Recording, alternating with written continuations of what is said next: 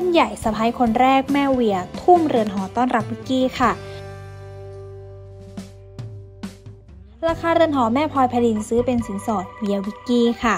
เปิดราคาเรือนหอแม่พลอยไพดินรวยขนาดนี้ซื้อให้เวียวิกกี้ยกเป็นสินสอด นับถอยหลังอีก 10 วันนะคะ ก็จะถึงวันสำคัญค่ะ ที่เป็นวันชื่นมื่นคืนความสุขนะคะสำหรับหนุ่มเวียสุกลวัฒน์ค่ะ และเจ้าสาวนอกวงการอย่างสาววิกกี้ หลังจากที่คุณแม่พลอยไพลินคณารถคุณแม่ของพระเอกซูเปอร์สตาร์ชื่อดังอย่างเวียร์ศุกลวัฒน์ได้บินกลับมาเมืองไทยนะคะ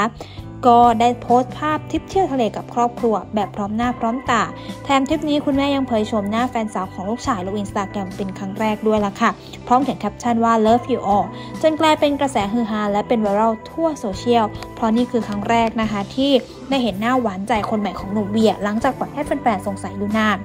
เรียกได้ว่าเธอคนนี้ขึ้นแท่นเป็นสะใภ้ คนแรกที่แม่ของหนุ่มเวียร์รัก แล้วก็ปลื้มเป็นอย่างมากชนิดที่ว่าเปิดตัวแทนลูกชายเลยล่ะค่ะ แถมยังมีการแสดงความยินดีหลังจากที่ลูกชายได้สวมแหวนให้กับสาววิกกี้เป็นที่เรียบร้อย อีกทั้งยังตั้งไฮไลท์ในอินสตาแกรมด้วยแรกด้วยล่ะค่ะ เป็นรูปของทั้งคู่สวมแหวนกัน งานนี้บอกได้เลยว่าแม่แม่พลอยไพลิน ปลื้มลูกสะใภ้คนนี้สุดๆ จนกระทั่งเมื่อวานนี้หลังจากที่พระเอกหนุ่มเวียร์ศุกลวัฒน์นะคะ ได้มีการพูดถึงเรื่องของการแต่งงานที่จะจัดขึ้นกลางเดือนนี้ค่ะ และแน่นอนว่าหนุ่มเบียค่ะ ก็มีข่าวลือสะพัดว่าซื้อคฤหาสน์หลังใหม่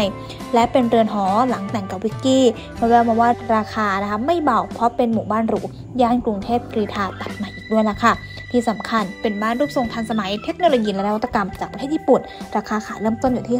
35-90 ล้านบาท ส่วนเรื่องการแต่งงานนั้นก็เป็นเรื่องที่มีการวางแผนมานานจริง ๆ เอาเป็นว่าก็แสดงความยินดีด้วยนะคะ